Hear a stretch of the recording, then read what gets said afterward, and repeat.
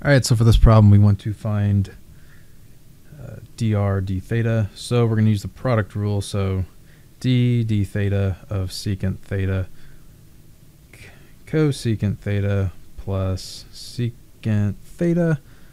Sorry about my handwriting. d d theta co cosecant theta. Okay, so the derivative of the secant is equal to um, secant tangent. So secant theta tangent theta times the cosecant. Cosecant theta plus secant theta. And the derivative of the cosecant is equal to negative cosecant theta cotangent theta. Okay.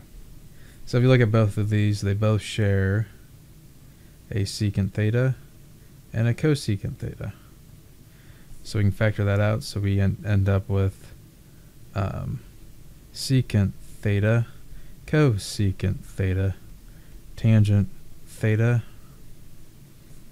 minus cotangent theta. And that minus was from here.